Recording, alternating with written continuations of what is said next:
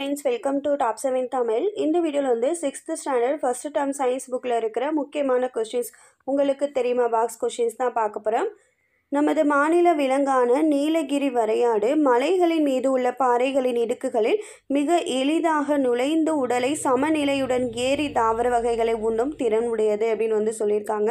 நமது மாநில விலங்கு வந்து நீலகிரி வரையாடு. அதிகமான புரதம் உள்ள உணவு எதுனா சோயாபீன்ஸ் அதிக அளவு புரதச்சத்து உள்ள உணவு எதுனா சோயாபீன்ஸ் முற்காலத்தில் மக்கள் வந்து பகல் நேரத்தை கணக்கிட மணல் கடிகாரம் மற்றும் சூரிய கடிகாரத்தை வந்து பயன்படுத்தியிருக்காங்க. இன்னும் சில மெத்தட்களை வந்து யூஸ் பண்ணி டைம் வந்து கணக்கிட்டிருக்காங்க. எப்படின்னு பார்த்தீங்கன்னா தரையில் நடப்பட்ட ஒரு குச்சியின் நிழலினை கொண்டு நேரத்தை கணக்கிட முடியும். ஒரு சிறிய துளை உள்ள பாத்திரத்தை கொண்டும் காலத்தை வந்து கணக்கிட்டிருக்காங்க. எப்படின்னா நீர் நிரம்பிய ஒரு பெரிய கலனில் இந்த துளையுள்ள பாத்திரத்தை வைத்து அது மூழ்கும் நேரத்தை வந்து கணக்கிட்டு குறிச்சிருக்காங்க. பின் இதனை கணக்கிடும் கருவியாகவும் வந்து பயன்படுத்தியிருக்காங்க. மேற்கண்ட கடிகாரங்கள் நேரத்தை தோராயமாக அளவிட உதவுது. நவீன காலத்தில் பார்த்தீங்கன்னா மின்னணு கடிகாரங்கள் நிறுத்து கடிகாரம் போன்ற உபகரணங்கள் நேரத்தை துல்லியமாக கணக்கிட வந்து உதவுகின்றன. ஒடோமீட்டர் என்பது தானியங்கி வாகனங்கள் கடக்கும் தொலைவை கணக்கிடுவதற்கு பயன்படுத்தப்படும் ஒரு கருவி.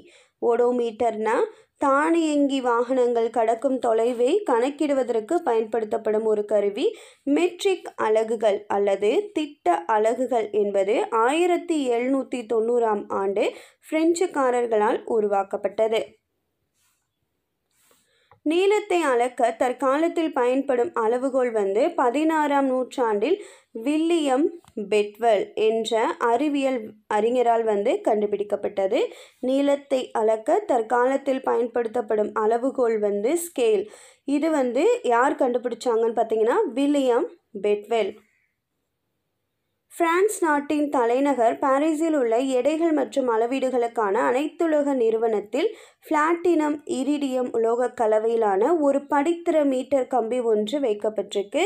இந்த மீட்டர் கம்பியின் நகல் ஒன்று டெல்லியில் உள்ள தேசிய இயற்பியல் ஆய்வகத்தில் வந்து இருக்குது ஒரு கிலோகிராம் என்பது பிரான்சில் உள்ள செவ்ரஸ் என்ற இடத்துல சர்வதேச எடைகள் மற்றும் அளவீடுகளுக்கான அனைத்துலக நிறுவனத்தால் ஆயிரத்தி எட்நூற்றி எண்பத்தி ஒன்பதாம் ஆண்டு நிறுவப்பட்ட பிளாட்டினம் இரிடியம் உலோக கலவையாலான ஒரு உலோகத்தண்டின் நிறைக்கு சமமாகும். இந்தியாவின் பழங்கான வானியலாளர் அறியப்பட்டா இவர் என்ன சொல்கிறாருன்னா நீங்கள் ஆற்றில் ஒரு படகில் செல்லும் போது ஆற்றின் கரையானது உங்களுக்கு பின்புறம் எதிர் திசையில் செல்வது போல் தோன்றும். அதுபோலவே வானில் உள்ள நட்சத்திரங்களை நாம் காணும்போது அது கிழக்கிலிருந்து மேற்காக செல்வக செல்வதாக தோன்றுவதால் நிச்சயம் நமது பூமியானது மேற்கிலிருந்து கிழக்காகத்தான் சுற்ற வேண்டும் என்று அனுமானித்திருக்காரு. யாருன்னா இந்தியாவின் பழங்கால வானியலாளர் ஆரியப்பட்டா நேர்கோட்டு இயக்கம்னா என்னன்னு பார்த்தீங்கன்னா பொருளானது நேர்கோட்டு பாதையில் இயங்கும். இதுதான் வந்து நேர்கோட்டு இயக்கம். எக்ஸாம்பிள் பார்த்தீங்கன்னா நேர்கோட்டு பாதையில் நடந்து சென்று கொண்டிருக்கும் மனிதன் தானாக கீழே விழும் பொருள். ஸோ இது எல்லாமே பார்த்தீங்கன்னா நேராக தான் வந்து வில் மனிதன் வந்து நேராக தான் வந்து நடப்பான் வளைஞ்சு நடக்க மாட்டான். அதே மாதிரி ஒரு பொருள் தானாக கீழே விழுகும்போது நேர்கோட்டு பாதையில் தான் வரும். இதெல்லாம் பார்த்தீங்கன்னா நேர்கோட்டு இயக்கத்திற்கு உதாரணம். அடுத்தது பார்த்தீங்கன்னா வளைவு பாதை இயக்கம். பொருளானது முன்னோக்கி சென்று கொண்டிருக்கும் தனது பாதையில் தனது திசையை தொடர்ந்து மாற்றிக்கொண்டே இருக்கும். இது உதாரணம் பார்த்தீங்கன்னா பந்தினை வீசுதல். வட்டப்பாதை இயக்கம் ஒரு பொருள் வந்து வட்டப்பாதையில் இயங்கும். எக்ஸாம்பிள் பார்த்தீங்கன்னா கயிற்றின் ஒரு முனையில் கல்லினை கட்டி சுற்றும் போது அது வட்டப்பாதையில் தான் வந்து இயங்கும். அடுத்தது பார்த்தீங்கன்னா தற்சுழற்சி இயக்கம். ஒரு பொருள் தன் அச்சினை மையமாக கொண்டு இயங்குதல் வந்து தற்சுழற்சி இயக்கம் என்று பெயர். இதற்கு எக்ஸாம்பிள் வந்து பம்பரத்தின் இயக்கம். ஒரு முனையில் கல்லினை கட்டி சுற்றுதல் என்பது வட்டப்பாதை இயக்கம். ரெண்டையும் கன்ஃபியூஸ் பண்ணிக்கிறோம் கூடாது தற்சுழற்சி இயக்கத்திற்கு உதாரணம் பம்பனம் வட்டப்பாதை இயக்கத்திற்கு உதாரணம் வந்து கல்லை சுற்றுதல். ஒரு நூலில் கல்லை கட்டி சுற்றுதல். அலைவு இயக்கம் ஒரு பொருள் ஒரு புள்ளியை மையமாக கொண்டு ஒரு குறிப்பிட்ட கால இடைவெளியில் முன்னும் பின்னுமாகவோ அல்லது இடும் வளமாகவோ மாறி மாறி நகர்தல் வந்து அலைவு இயக்கம் என அழைக்கப்படுது. அலைவு இயக்கத்திற்கு உதாரணம் வந்து தனி ஊசல். ஒழுங்கற்ற இயக்கம் ஒரு ஈயின் இயக்கம் அல்லது மக்கள் நெருக்கம் மிகுந்த தெருவில் நடந்து செல்லும் மனிதர்களின் இயக்கம் வந்து ஒழுங்கற்ற இயக்கத்திற்கு உதாரணம். அதிவேகத்தில் இயங்கும் அலைவியக்கம். உங்கள் நண்பரை ஒரு ரப்பர் பேண்டின் இரு முனைகளையும் நன்றாக இழுத்து பிடித்து கொள்ளுமாறு சொல்லவும் இப்போது நீங்கள் ரப்பர் பேண்டின் மையப்பகுதியை இழுத்து விட வேண்டும். இப்போது அலைவானது அதிக வேகத்தில் வந்து நடைபெறும். அலைவானது அதிவேகமாக நடைபெறும் போது நாம் அந்த இயக்கத்தினை அதிர்வுறுதல் என்று அழைக்கின்றோம். அலைவு இயக்கம் அனைத்துமே கால ஒழுங்கு இயக்கமாக அமையும். அலைவு இயக்கம் அனைத்துமே வந்து கால ஒழுங்கு இயக்கமாக அமையும். ஆனால் அனைத்து கால ஒழுங்கு இயக்கங்களும் அலைவு இயக்கமாக காணப்படாது. உசைன் போல்ட் வந்து நூறு மீட்டர் தூரத்தினை ஒன்பது புள்ளி அஞ்சு எட்டு வினாடிகளில் கடந்து உலக சாதனை படிச்சிருக்காரு உசைன் போல்ட். இதைவிட வேகமாக உங்களால் ஓட முடியுன்றால் ஒலிம்பிக் தங்கப்பதக்கம் உங்களுக்காக காத்திருக்கிறது அப்படின்றத அந்த பேராகிராஃபில் வந்து சொல்லி முடிக்கிறாங்க. அடுத்தது பார்த்திங்கன்னா குறிப்பிட்ட கால இடைவெளியில் சீரான வேகத்தில் இயங்கும் பொருளின் இயக்கத்தினை நாம் சீரான இயக்கம் என்றும் மாறுபட்ட வேகங்களில் இயக்கும் பொருளின் இயக்கத்தினை வந்து சீரற்ற இயக்கம் என்றும் கூறுகிறோம். தரையில் வாழும் விலங்குகளில் சிறுத்தையானது சராசரியாக நூற்றி பன்னெண்டு கிலோமீட்டர் பர் மணி வென்ற வேகத்தில் ஓடும் மிக வேகமான விலங்காகும். தங்கத்தின் தூய்மை வந்து கேரட் என்ற அழகால் வந்து குறிப்பிடப்படுது. இருபத்தி நாலு கேரட் தங்கம் என்பது தூய நிலையில் உள்ள தங்கமாக வந்து கருதப்படுது. துடைத்து வைக்கும் இயந்திரத்தில் எந்த தத்துவத்தினை பயன்படுத்தி ஈர உடைகளில் இருந்து நீரினை வெளியேற்றும் முறைக்கு மைய விலக்கு மைய விலக்கல் என்று பெயர். இதில் பயன்படும் விசை வந்து மைய விலக்கு விசை. பெரும்பாலான இல்லங்களில் நீரில் உள்ள மாசுக்களை நீக்குவதற்காகவும் நீரில் உள்ள நுண்குருமிகளை புற ஊதா கதிர்களை கொண்டு அழிப்பதற்காகவும் வணிக ரீதியான நீர் வடிகட்டிகள் வந்து பயன்படுத்தப்படுது. எதிர் சாவூடு பரவல் என்ற முறையில் குடிப்பதற்கென நீரில் உள்ள மாசுக்கள் நீக்கப்பட்டு சுத்திகரிக்கப்படுகிறது. எந்த முறையில் பார்த்திங்கன்னா எதிர் சவ்வூடு பரவல் முறையில். நீரில் வாழும் விக்டோரியா அமேசோனிக்கா என்ற தாவரத்தின் இலைகள் மூன்று மீட்டர் விட்டம் வரையில் வந்து வளரும். எத்தனை மீட்டர்னா மூன்று மீட்டர் விட்டம் வரை வந்து இந்த தாவரம் வந்து வளரும். நன்கு வளர்ச்சியடைந்த இலையின் மேற்பரப்பு வந்து நாற்பத்தி அஞ்சு கிலோகிராம் எடையோ அல்லது அதற்கு இணையான ஒருவரை தாங்கும் தன்மையும் கொண்டது. எதன் அடிப்படையில் தாவரங்களை வகைப்படு பூவின் அடிப்படையில் தாவரங்களை இருவகைப்படுத்தலாம். அவை பூக்கும் தாவரங்கள் பூவா தாவரங்கள். விதை அமைந்திருக்கும் வகையில் தாவரங்கள் வந்து ரெண்டு வகைப்படும். எப் என்னென்னா ஆஞ்சியோஸ்போம்கள் மூடிய விதை தாவரங்கள் ஜிம்னோஸ்போம் திறந்த விதை தாவரங்கள். உலகில் மிக நீளமான நதி வந்து நைல் நதி. இது ஆறாயிரத்தி அறநூற்றி ஐம்பது கிலோமீட்டர் நீளமுடையது. இந்தியாவின் மிக நீளமான நதி வந்து கங்கை. இதன் நீளம் வந்து ரெண்டாயிரத்தி ஐநூற்றி இருபத்தி அஞ்சு கிலோமீட்டர் நீளமுடையது. தாமரையின் இலைக்காம்பில் உள்ள காற்று இடைவெளிகள் வந்து நீரில் மிதக்க உதவுகின்றன. தாமரை நீரில் மிதக்க உதவுவது வந்து காற்று இடைவெளிகள். இது தாமரை இலையோட காம்பு பகுதியில் வந்து இருக்குது நானூற்றி எழுபது மில்லியன் ஆண்டுகளுக்கு முன் உருவான நிலவாழ் தாவரங்கள் மாஸ்கல் மற்றும் லிவர்வர்ட்ஸ் தென் அமெரிக்காவில் உள்ள அமேசான் மலைக்காடுகள் உலகிற்கான ஆக்சிஜன் தேவையில் பாதி அளவு வந்து பூர்த்தி செய்து மணல் குன்றுகளாலான மிகப்பெரிய இந்திய பாலைவனமான தார் பாலைவனம் வந்து இந்திய துணைக்கண்டத்தில் இருக்குது இதன் பகுதிகள் ராஜஸ்தான் மாநிலத்திலும் வடமேற்கு இந்தியாவிலும் பஞ்சாபிலும் சிந்து மாகாணத்திலும் மற்றும் கிழக்கு பாகிஸ்தானிலும் வந்து விரிந்து காணப்படுது.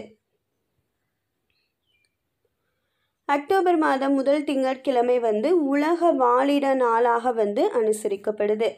வளரும் பருவநிலையில் அதிவேகமாக வளரக்கூடிய தாவரம் எதுனா மூங்கில். சிங்கப்பூரில் உள்ள ஜிராங் பறவைகள். பூங்காவில் பெண்குவின் பறவைகள் பனிக்கட்டிகள் நிரம்பிய ஒரு பெரிய கண்ணாடி கூண்டுகள் ஜீரோ டிகிரி செல்சியஸ் வெப்பநிலை அல்லது அதற்கும் குறைவான வெப்பநிலையில் பராமரிக்கப்படுகின்றன. எவ்வளோ வெப்பநிலை ஜீரோ டிகிரி செல்சியஸ் அதற்கும் குறைவான வெப்பநிலை.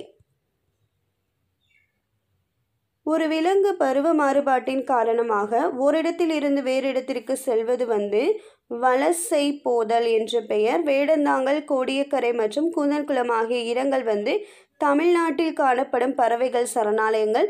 பல பறவைகள் வந்து வெளிநாடுகளான சைபீரியா மற்றும் ரஷ்யாவில் இருந்து வேடந்தாங்கல் வந்து வருது. அதேபோல் கோடை மற்றும் வறட்சி அதிகமுள்ள காலங்களில் நம் நாட்டு பறவைகள் வெளிநாடுகளுக்கு வலசை போகின்றன. எனவே இந்த வலசை போகும் பறவைகள் என அழைக்கப்படுது. இந்த பறவைகள்லாம் வந்து வலசை போகும் பறவைகள் என அழைக்கப்படுது.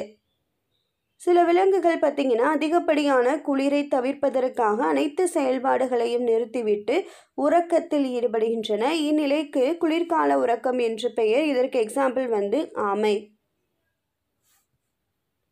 அதே சமயம் சில விலங்குகள் வந்து அதிகப்படியான வெப்பத்தை தவிர்ப்பதற்காக அனைத்து செயல்பாடுகளையும் நிறுத்திவிட்டு உறக்கத்தில் ஈடுபடுகின்றன. இதற்கு எக்ஸாம்பிள் வந்து நத்தை.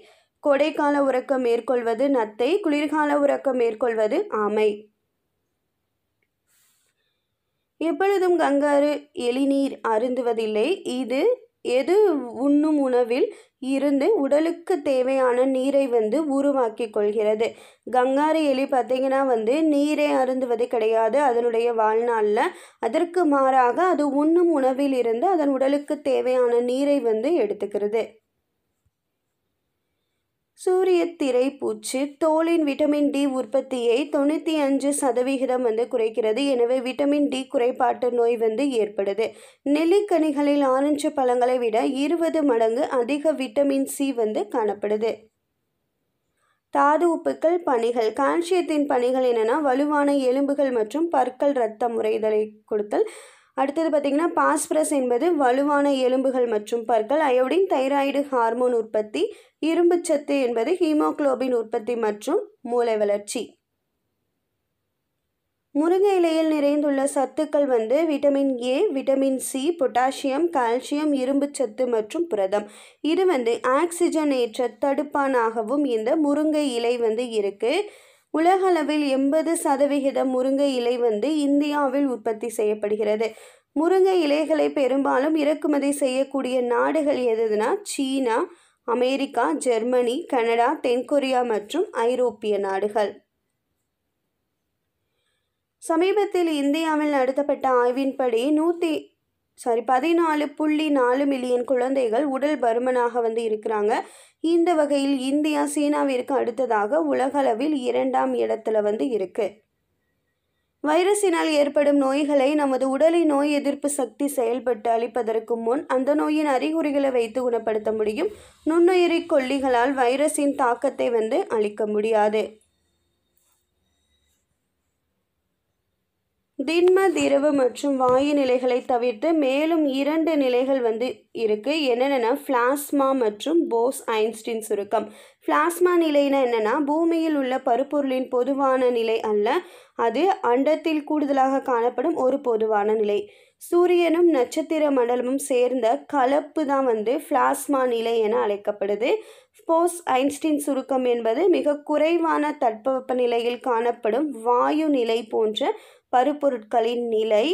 இது ஆயிரத்தி தொள்ளாயிரத்தி இருபத்தி அஞ்சில் கணிக்கப்பட்டு ஆயிரத்தி தொள்ளாயிரத்தி தொண்ணூற்றி அஞ்சில் உறுதி செய்யப்பட்டது. இவ்வகை கடுங்குளிர் முறையில் எந்திரங்களில் வந்து பயன்படுத்தப்படுது. இந்த வீடியோவில் வந்து sixth standard first term science புக்கில் இருக்கிற முக்கியமான கொஸ்டின்ஸ் தான் பார்த்தோம். உங்களுக்கு தெரியுமா பாக்ஸ் கொஷின்ஸ் இதே மாதிரி செகண்ட் டேர்மில் இருக்க கொஷின்ஸ் அடுத்த வீடியோவில் பார்க்கலாம். இந்த வீடியோவை வாட்ச் பண்ணதுக்கு தேங்க்யூ